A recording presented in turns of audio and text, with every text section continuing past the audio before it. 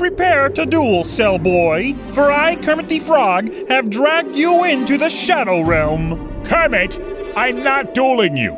Do you not see the eye? You have no choice but to duel me. You look stupid with that. What is that? Behold, Cell, the Millennium Eye, an ancient Egyptian artifact that grants bullshit powers, like reading your mind. So what you're saying is, you're cheating.